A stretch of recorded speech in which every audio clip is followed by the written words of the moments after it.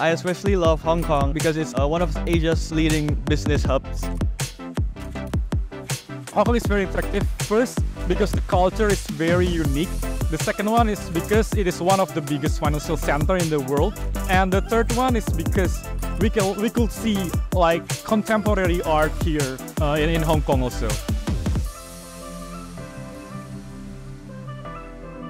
Aduh aku suka banget soalnya kan emang Hong Kong tuh kota metropolitan lah. Terus udah gitu kan kayak di sini kita kayak bisa mengeksplor di Hong Kong tuh yang ikonik tuh apa aja sih. Jadi aku pengen banget ke Hong Kong lagi.